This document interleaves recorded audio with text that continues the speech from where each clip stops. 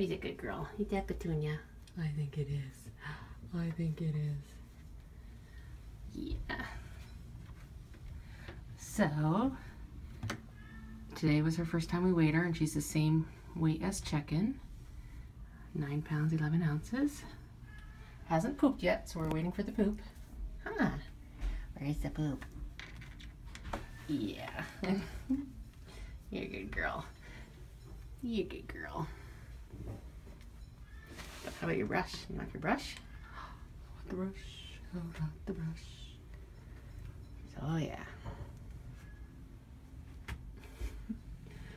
Oh, there's the purr. There's the purr. There's the purr. You good girl. You good girl. Huh? I think you are. You gonna roll over? You look like you're trying to. She's so cute. All right, so waiting for the poop. Waiting for the poop. Kitty Mel.